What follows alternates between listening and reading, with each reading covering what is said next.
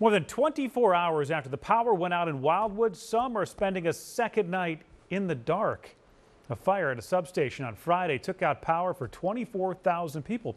Now, we do have a live look at the boardwalk there in Wildwood. This is from Sky 6 at this hour. It's kind of freezing up. Uh, we think maybe power issues might have something to do with that, but you can see some light on the, the uh, boardwalk and then closer to the left side of your screen, kind of dark.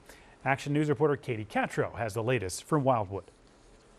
According to Atlantic City Electric, the majority of power is restored. They do say more than 80% of their customers have power. They do expect the rest of their customers to get power sometime later this evening or into the overnight hours. However, earlier today, we did see some power back on the boardwalk. However, there has been intermittent power outages, and Atlantic City Electric says that is all part of the process.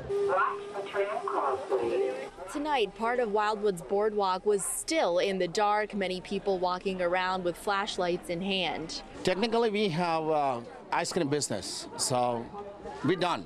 Earlier today, we spoke with business owners who say they lost a lot of money because of the power outage. A couple thousands dollars because it's really busy weekends. The power outage affected around 24,000 people in Wildwood and the Crest. It happened after a fire at Lake Avenue substation Friday. Atlantic City Electric crews have been working to restore power, but it's a complicated process. The complexity of this restoration effort with rerouting power, um, it's it's summertime, it's hot, there's a lot of load on our grid, so we have to be very cautious to not overload the grid. A lot of storefronts were closed throughout the day, although many flocked to the boardwalk to feel the cool ocean breeze.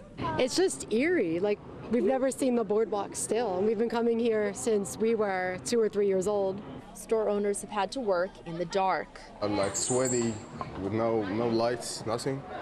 It's crazy. Children say they are upset they haven't been able to go on any rides. The roller coasters aren't open, but we're hopeful it'll happen like tomorrow, the next day, or something. Well, I was gonna go on a ride with my uncle, and I was I was so sad because I didn't get to. Certain portions of the energy grid have to be de-energized, which is why you may be experiencing intermittent power outages, according to Atlantic City Electric. Again, they do hope that all power is restored by the overnight hours. Reporting in North Wildwood, Katie Katro, Channel 6 Action News.